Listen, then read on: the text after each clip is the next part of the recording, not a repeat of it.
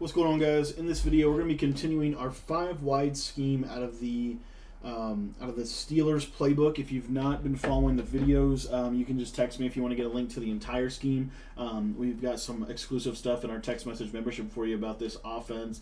Um, this is one of my favorite offenses I've ever created. It's a lot of fun, and it's honestly really simple to run. Now, if you want to get the scheme, just text me. My number is 208-218-6900. It's also in the description of this video. Just text the word Madden over to me, and I'll send you this along with the rest of the schemes that we've created in Madden 21. And um, today we're going to be going over. Um, today we're going to be going over the play uh, corners, and we're going to be running um, a really, really, really effective concept from this. This is really, really good against both the blitz as well as um, just the standard coverages that you're going to probably face online. I love this play. I absolutely love this play, especially once we start to establish some of the other concepts within the offense. This play in particular is going to become a very, very effective concept. So what we're going to do with this is honestly really simple. We're just going to simply smart route the R1 receiver. And honestly, that's pretty much all I do. Now, typically what's going to happen, just from knowing from experience, if you get a blitz, then your read is going to be over here on the left side. If you don't get a blitz, then you're going to come back over here to the right. So your first look is always to this quick throw to the in route every single time. This in route is so good. Now, as you, and of course, of course, I get picked off first play. Now, as you see, the seam flats are the only zone in the game that can guard it. The only zone in the game that will jump that is the seam flats. So out of Mike Blitz 3, you get that. You get these seam flats. So if they jump down on that in route, you see how he jumps inside, then you can throw outside to your corner route just like that right there. Okay, really, really easy um, to just simply do that. Okay, um, but then the the point of this is every other thing that they do is going to leave vulnerable to this dig. So you see right here, you're basically just simply pass leading that down, and you're going to get a completion almost every single time if they blitz you, um, and if there's no yellow zone in that field. The other thing that I really like about this is depending on the corner routes, most of the time the corner route's going to be open no matter what. It's, it just seems like within this play. So, like you'll see right here, see how it gets sucked inside every single time, and I can almost always throw this corner route to to Brown.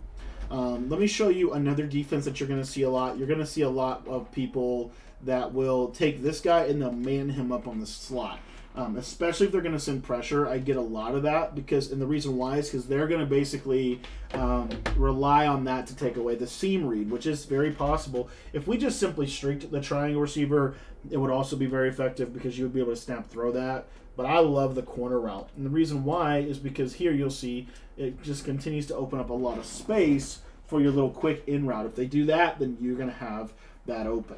Now, let's talk a little bit about man to man pressure. So if you get um, if you if they go to like Mike Blitz zero, and they, they basically give you this look right here, you notice that the slot corner is actually going to move over to the other side.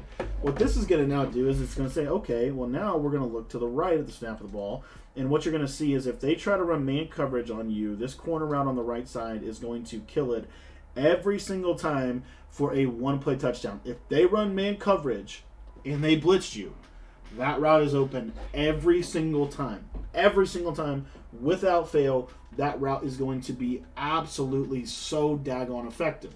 As you can see here, if they go, and, and I'll shade coverage up, and you'll still see it's going to be really good. Because the core, the safety has to come down, and then he has to go up, right, which is going to allow that to get open.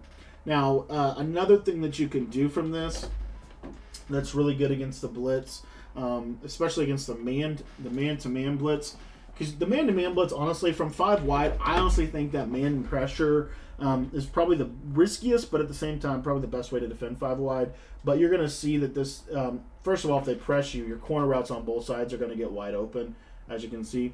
Um, the corner route on the right side is going to be a touchdown every single time. So if they press you, just throw the corner route. But if they do this, which I think this is more effective, if they shade their coverage upfield, then what you're going to do is just low ball this hitch. Um, that hitch will always win against if against a uh, shaded coverage up uh, zone. So if you get you know basically what you're doing is if the slot corner is on the right side, or then you're going to throw to the left. If the slot corner is on the left, then you're going to now work the right side combination. So you'll see here, um, this is shaded coverage up, and I can still throw my corner route really, really easily right off the rip. I can also, if I have an ability there, it's going to be even more separation. Um, so it's just it's a really good play against man blitz. Um, now the other read that you can make on this against man coverage is this. Uh, again, this is really important as long as they don't get pressed. Okay, so just bear with me. But as long as they don't get pressed, um, this X receiver he will beat man if he gets bump, if he gets jammed. He's just not going to beat man as fast if he gets jammed. Um, so if you're getting the pressure, this is one of my favorite plays in the game. Now, um, let's talk a little bit about this hitch route over here on the right against this. So this hitch route, um, you see it's kind of in the same boat as the dig. A seam flat can kind of give it some trouble um, just because of, honestly, just because of how uh, seam flats play in this year's game. They play kind of glitchy, I will agree with that. Um, they certainly do. Uh, you'll see here that this corner route, though, has a lot of room to work on the outside. So seam flats are going to tend to sit more inside, whereas curl flats or cloud flats are going to sit more outside. So if they change these seam flats into uh, curl flats, then they'll play a little bit better against like curl flat combinations where they're going to be very vulnerable as things like this hitch route's going to get wide open. So you can really work both sides against the zone um, if you want to. Now, like I said, there's another way that you can run this play, um, and it will deter your opponent from blitzing pretty significantly. So all you're going to do is just put triangle on a streak, and um, typically you're, you're going to get something that looks somewhat like this, and they have to run down at the snap of the ball to be able to get the blitz to come in. And so what you'll see is this seam route is going to get wide open up the middle of the field as long as he hand, hangs onto the ball. Um, that seam route's going to get wide open over the middle. So that's one of the other reasons why I really like this play because if you're getting to look like this, there's really nobody that can go vertical with him other than that safety. If that left safety does not go vertical with triangle, it's wide open. If it does go vertical, um, then you're going to be throwing your dig route every time. But as you can see right there, super easy and super effective streak. So that's one little adjustment to this play that you can use um, if you're wanting to do that. I have found, this is just me personally, but I have found that it puts a little bit, um, it puts a lot of stress on your user on this left side. And so what then you can do off of this is let's say that they go uh, left at the snap of the ball. Well, now you can hit your tight end route right up the vertical seams. So the reason I love five wide is because it gives you, in essence, the best spacing you can possibly have on the field. Um, and so it's up to you to kind of maximize that. Another really simple way to beat the blitz from this play is just to do this combination right here. Uh, typically, your hitch is going to get wide open against that.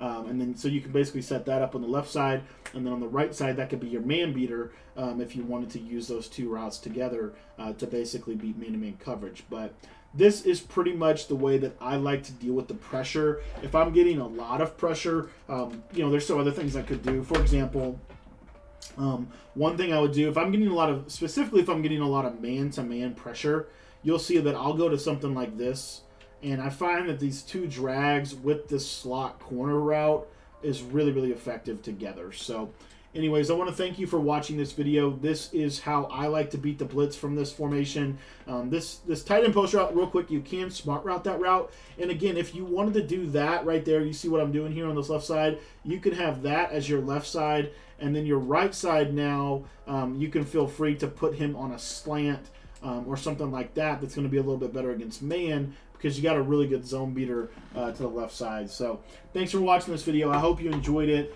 and I hope this helps you a little bit when you get blitzed out of five wide because it will happen. People will try to send pressure at you. You just have to be prepared for it with plays like this. And if you dot them a couple times, trust me, they're going to stop blitzing. So thanks for watching. If you want to get the full scheme, just text the word Madden to 208 218 6900.